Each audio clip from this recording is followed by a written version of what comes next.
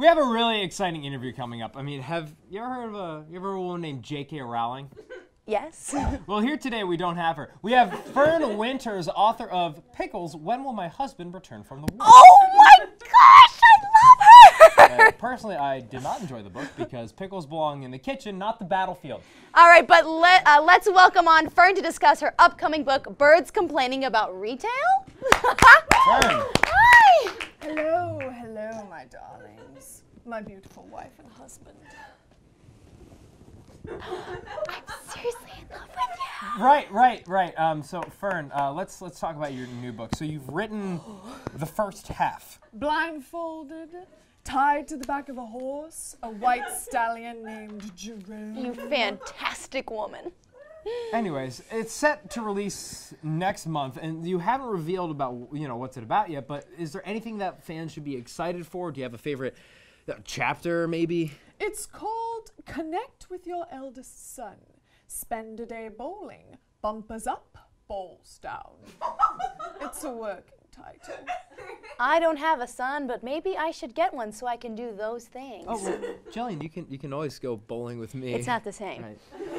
I just finished another chapter last night, actually. It's called Connect with Your Hairdresser. Spur a little riot at his place of work and throw a chair through the window. Man, that sounds great, but not so legal. Wait, what is your book about again? I think readers will really enjoy the fifth chapter. Connect with your great uncle twice removed. Go inside the local auto body shop. Hug your sweaty uncle. Get the sweat all over your face. So correct me if I'm wrong, but your book seems to be tackling relationships. It's the title of the book. It's no, it's not. It's its title is "Birds Complaining About Retail." I mean, have you ever been in like a relationship? Like your chapters seem very uh, specific. I've been alone for 72 years. You're you're clearly not 72, Fern. Look, if your book's about relationship advice, don't you think you'd benefit from, I don't know, having one? I'd never, ever thought of that. You're going at your glasses right now. Stop. Stop. Friction, darling, friction. Okay. You know, you're right. Oh. I have yet to write about children taking caterpillars home for the first time. Guess who's home for dinner? The caterpillar. That's that's not what we're getting at. Okay, This is you know, sometimes I would dress up as a cicada. I mean, would that work? Step Shh. one make the caterpillar feel comfortable.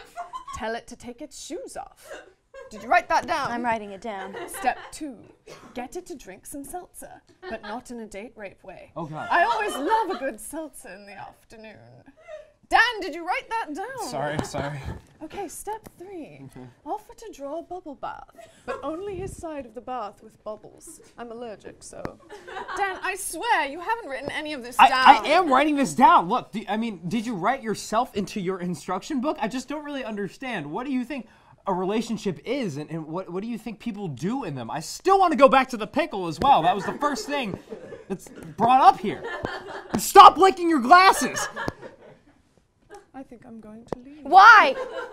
Because a relationship is like a pickle, Jillian. When you take a bite and it's still raw, it's absolutely disgusting.